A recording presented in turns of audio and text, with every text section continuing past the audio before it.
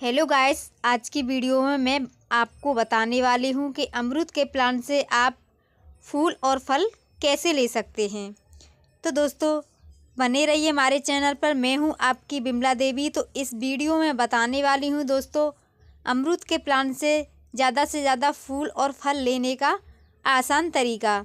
तो दोस्तों बहुत लोगों की शिकायतें रहती हैं कि उनके अमरूद के प्लांट पर अच्छे से ग्रोथ ही नहीं चलती तो फूल और फल कहाँ से आएँगे? तो बने रहिए हमारे चैनल पर। तो नमस्कार दोस्तों, स्वागत है आप सभी का हमारे इस सूर्या गार्डनिंग यूट्यूब चैनल पर। तो चलिए दोस्तों, इस वीडियो को हम शुरू करते हैं।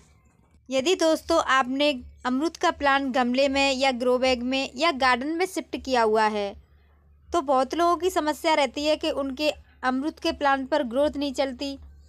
तो आपको ऐसा करना होगा, जिन लोगों के अमरूद के प्लांट की ग्रोथ नहीं चलती हो तो अमरूद के प्लांट में पहले आप गोबर खाद शिफ्ट करें।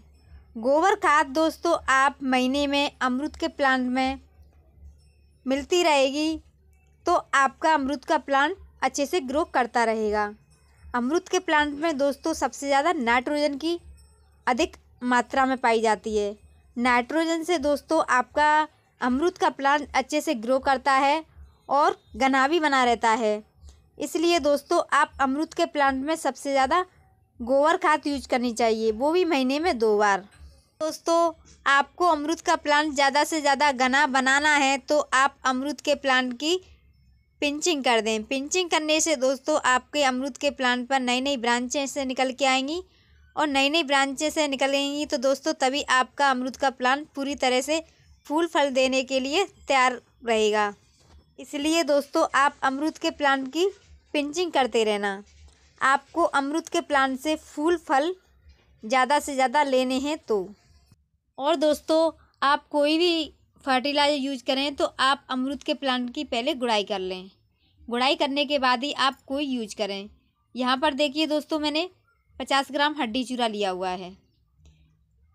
ज़्यादा नहीं है दोस्तों। पचास ग्राम ही है। और ये है नीम की खली। नीम की खली से दोस्तों आपके अमरूद के प्लांट में ज़्यादा से ज़्यादा फूल आते हैं। और दोस्तों हम इस दोनों चीज़ों को मिक्स कर लेते हैं। मिक्स करने के बाद दोस्तों हम अमरूद के प्लांट की गुड़ाई करेंगे। गुड़ाई आपको ऐसे करनी है जैसे मैं आपके सामने लेकर आई हूँ। ये देखिए। इस नीम की खली से और अड्डी चूड़ा से दोस्तों आपके अमरूद के प्लांट पर ज़्यादा से ज़्यादा फूल आएँगे और फल में बदल भी जाएँगे। ये देखिए दोस्तों, इसी तरीके से दोस्तों आप इन दोनों चीज़ों को अमरूद के प्लांट में ऐड कर देना। ऐड करने के बाद दोस्तों आप अमरूद के प्लांट में वाटरिंग डालना। वाटरिंग आपको ज़्यादा नहीं डालनी है दोस्तों, सर्दियों का मौसम है, इसलिए हम अमरूद के प्लांट में एक लीटर वाटरिंग डालेंगे।